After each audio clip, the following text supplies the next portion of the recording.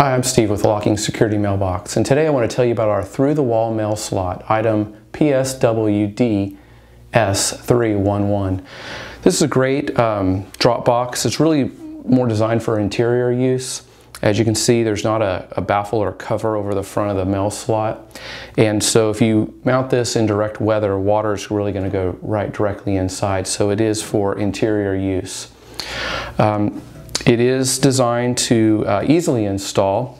Uh, it's really not a large drop box, but you can easily drop in uh, standard business envelopes, payments, checks, things of that nature. The overall size is 14 inches wide, it's 15 inches high, and 8 and 3 quarters inches deep.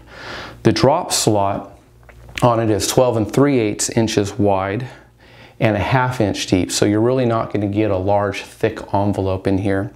It does include a baffle on the inside and what that sawtooth baffle does is, is it keeps someone um, when they try to fish an item back out. So in other words, they might use a coat hanger or something else sticky or tacky to drop down in there and pull it out. Well, it's going to catch that baffle um, and it's going to drop it back down. So it's really a, a good uh, anti-fishing device. When you install this, um, basically you're going to cut your hole in the sheetrock, you're going to slide it in, and it comes with two sleeves, uh, two that are identical to this. And once you slide your unit in and you screw it in with the pre-drilled holes on the side, and it does include the lag bolts, uh, you slide the frame on, that cuts your hide, hide or uh, cuts your hides your cut mark, excuse me, and then you just run your screws in, and I recommend using some caulking. It does include two of those. And there you have it, it's installed. It's uh, relatively simple.